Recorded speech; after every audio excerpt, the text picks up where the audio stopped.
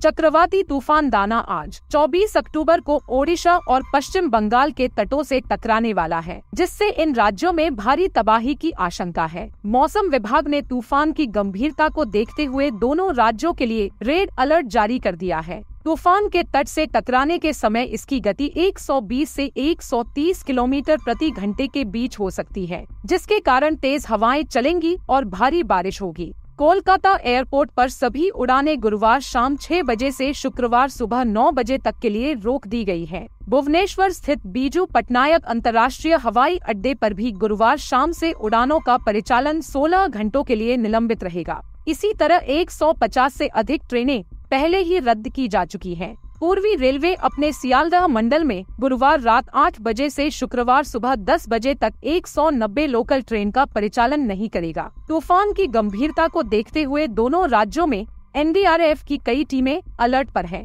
जो किसी भी आपात स्थिति से निपटने के लिए तैयार है। ओडिशा सरकार ने इस चक्रवात से निपटने के लिए बड़े पैमाने पर तैयारियाँ की हैं। मुख्यमंत्री मोहन चरण माझी ने जानकारी दी कि राज्य के तटीय इलाकों से 10 लाख लोगों को सुरक्षित स्थानों पर पहुँचाने का लक्ष्य रखा गया है। बुधवार शाम तक तीन लाख से अधिक लोगों को सुरक्षित स्थानों पर पहुँचाया जा चुका है।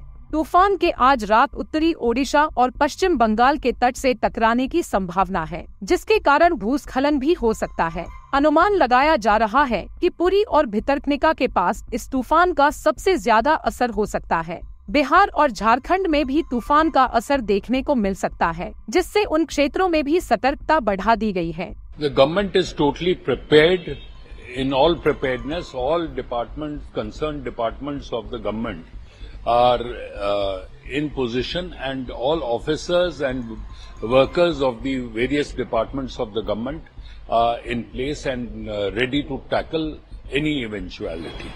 Sir, if you talk about your department, energy as well as agriculture, now post cyclone, it is very vital. See, I have said each and every department of the government.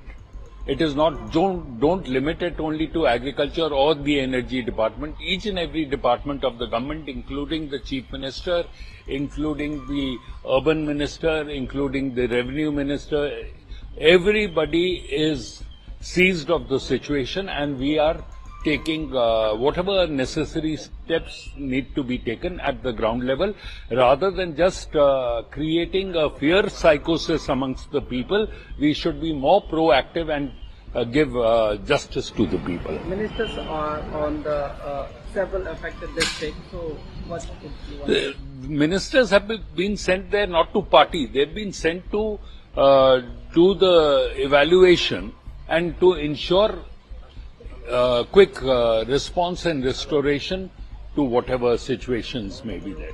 What is your message for common people?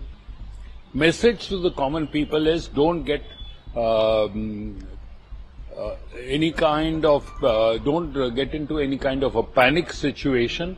Be peaceful and have trust on uh, the government for the government and allow the government to also do its work rather than panic. Thank you.